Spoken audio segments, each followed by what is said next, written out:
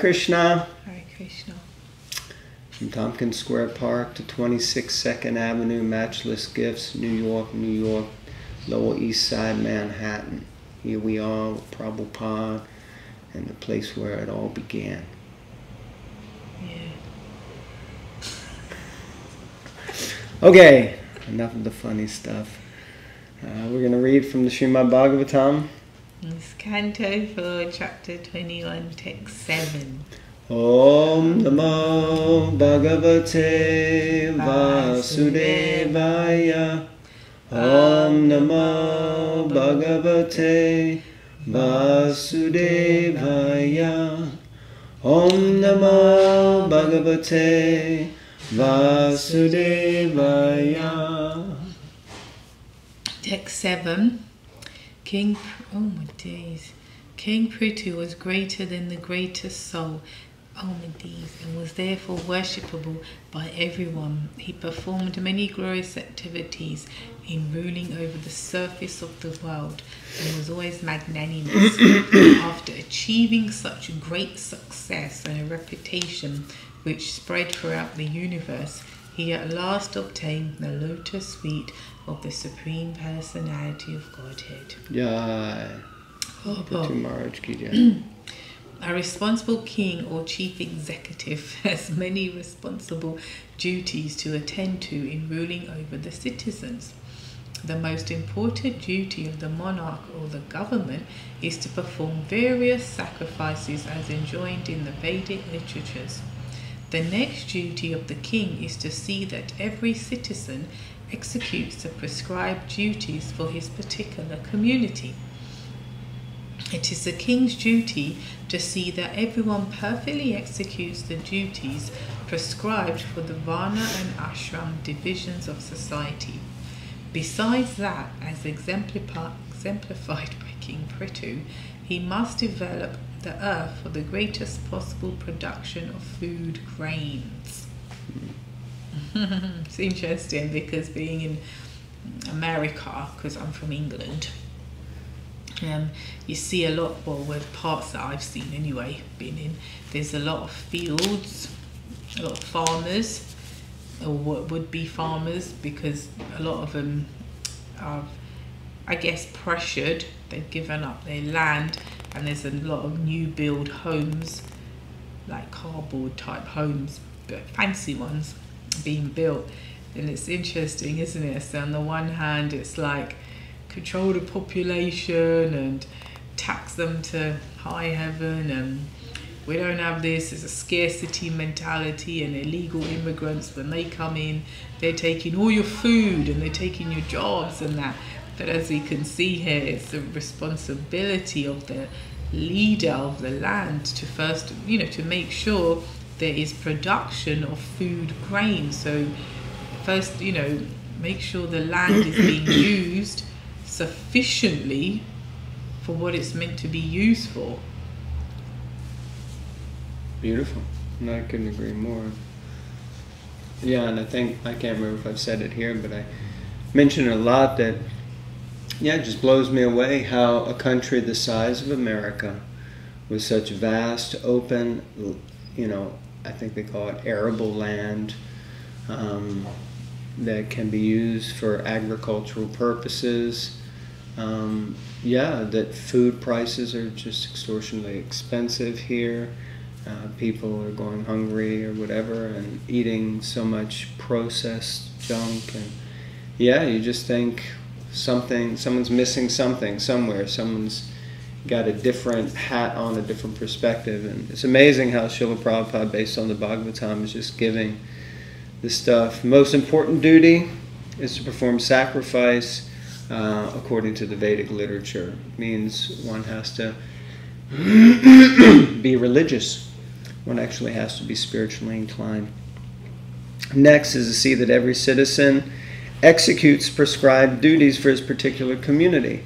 So they're Varna Ashram, so it means that persons, everyone has something to do, that everyone is engaged, even down to the bulls. You know, the bulls are engaged in, in plowing the fields, and, and therefore no one is bored or no one is unemployed, no one has time to get into the kind of mischief that goes on, basically, you know. And then um, uh, it is the king's duty to see that everyone perfectly execute duties. Yes, and the last one. Besides that, exemplified by King Prithu, must develop the earth, as well, Bhakti was mentioning. Yeah, so three very important things that a ruler or leader or king or monarch should do. Powerful. There are different types of great personalities. Some are positive great personalities, some comparative, and some superlative. Interesting. But King Prithu exceeded all of them. He is therefore described as a Mahatamaha, greater than the greatest. Maharaj Prithu was a Kshatriya and he discharged his Kshatriya duties perfectly. Similarly, Brahmanas, Vaishyas, and Shudras can discharge their respective duties perfectly and thus at the ultimate end of life be promoted to the transcendental world, which is called Param. Param Padam, or the Vaikuntha planets, can be achieved only by devotional service. The impersonal Brahman region is also called Param Padam. But unless one is attached to the personality of Godhead, one must again fall down to the material world from the impersonal Param Padam situation. It is said, therefore, Aruhya Krichrena Param Padam Tataha. The impersonalists endeavor very strenuously to achieve the Param Padam, or impersonal Brahmajyoti, but unfortunately, being bereft of a relationship with the Supreme Personality of Godhead, they come down again to the material world. If one flies in outer space, he can go very high up. But unless he reaches a planet, hmm, that's so nice, he must come down again to Earth. Similarly, because the impersonalists who reach the Param Padam of the impersonal Brahmajyoti do not enter into the Vaikuntha planets, they come down again to this material world and are given shelter in one of the material planets. Although they may attain Brahmaloka or Satyaloka, all such planets are situated in the material world. Wow, so great. Jai Prabhupada. Um, just couldn't help but think about this idea of, uh, you know, if one flies in outer space and how you were mentioning the other day about these astronauts who are kind of stuck in outer space. Mm. And um, unless they find a planet to go to and hang out on, uh, which you would have thought it would be the moon since they were sending them to the moon, but they can't really go there and hang out. Uh, for any, you know, they can't start growing vegetables and, you know, find some water or dig a well or something supposedly. so unless they find a place, they basically got to come back down to earth uh, at some point. So it's really, I haven't heard that analogy given by Prabhupada before with regards to the Brahmajyoti emerging into the Brahmajyoti. So very nice. All right, text eight. Sri Suta Goswami continued, O Shaunaka, leader of the.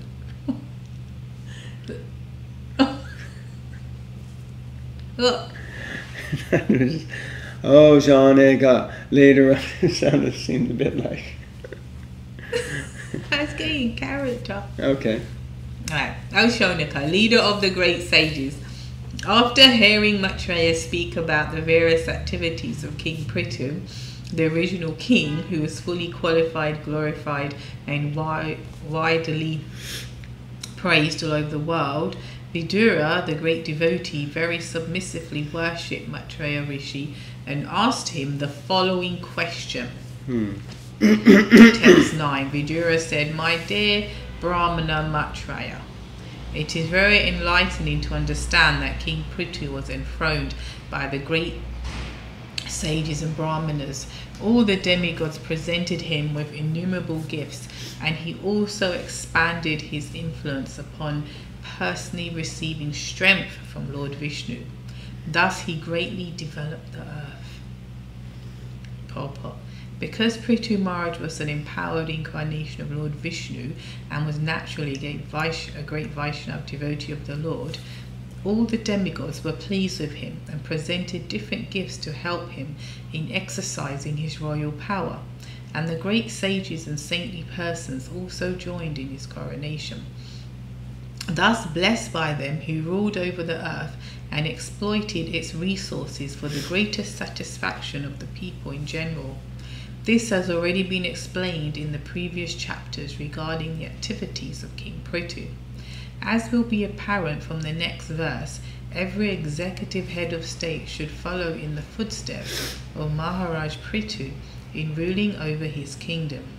Regardless of whether the chief executive is a king or president, or whether the govern, government is monarchical or democratic, this process is so perfect that if it is followed, everyone will become happy and thus it will be very easy for all to execute devotional service to the Supreme Personality of Godhead.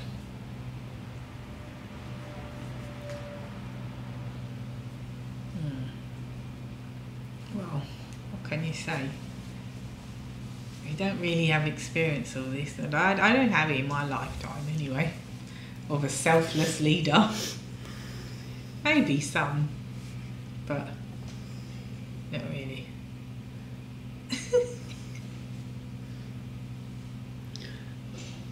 Anything else?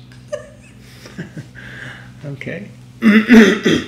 so this is very much a uh, a build up to the next verse. I was thinking we could uh, we could say that's all for this week, folks, and uh, or today. Thank you. All right. But um, Oh. I think we should read on. What do you Oh. think?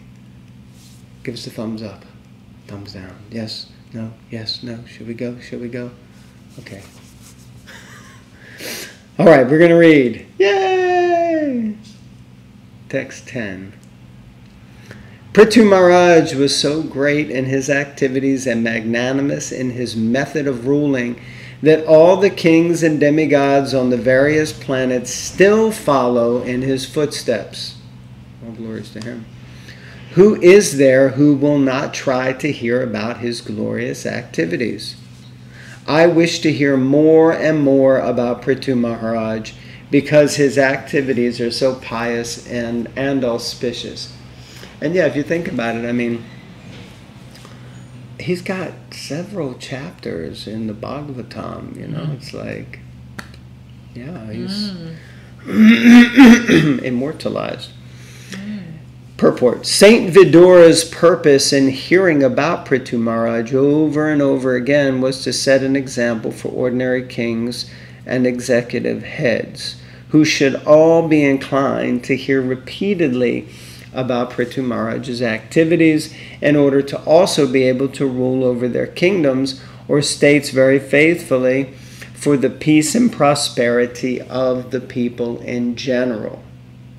Fortunately, as the at the present, oh sorry, unfortunately, thank you very much.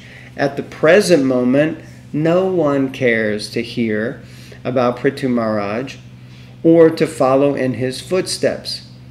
Therefore, no nation in the world is either happy or progressive in spiritual understanding, although that is the sole aim and objective of human life. Wow. So basically, Prabhupada is saying that, yeah, uh, Vidura is ecstatic to keep hearing about Prithu Maharaj, uh, coming from a family of kings, coming from the princely class, you know, but he, he's eager to hear, and he's eager to hear because he wants all of us to hear. And Prabhupada is saying that leaders should want to hear. They should want to hear of the pastimes of Prithu Maharaj so that they can imbibe that spirit. But as Prabhupada said, unfortunately at the moment, no one is eager to hear about Prithu Maharaj. And thus, there isn't a country at present that is spiritually progressive. There you go. Unfortunate. I also think it's interesting.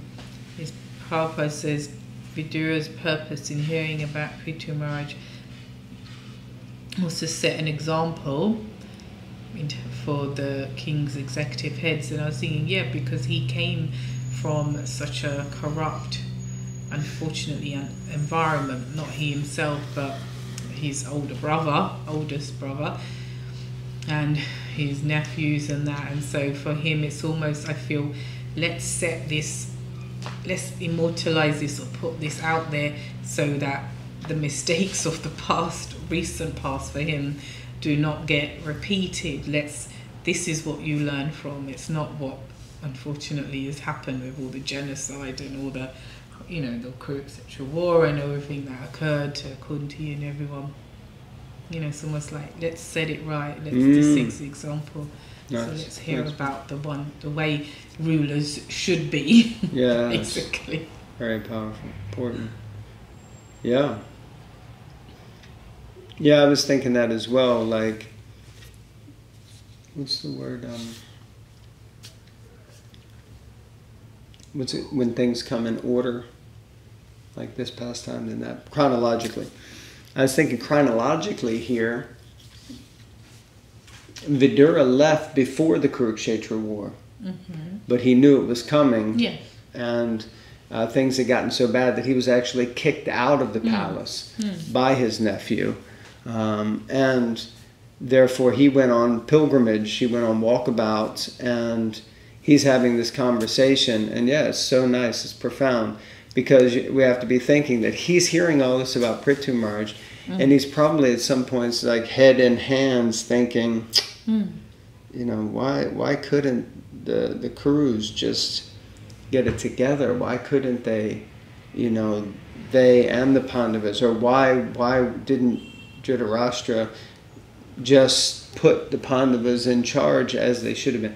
Yes, it's really great. I love that because when we think about it personally, what is the time, the place, the circumstance? What is Vidura actually feeling and experiencing in this moment?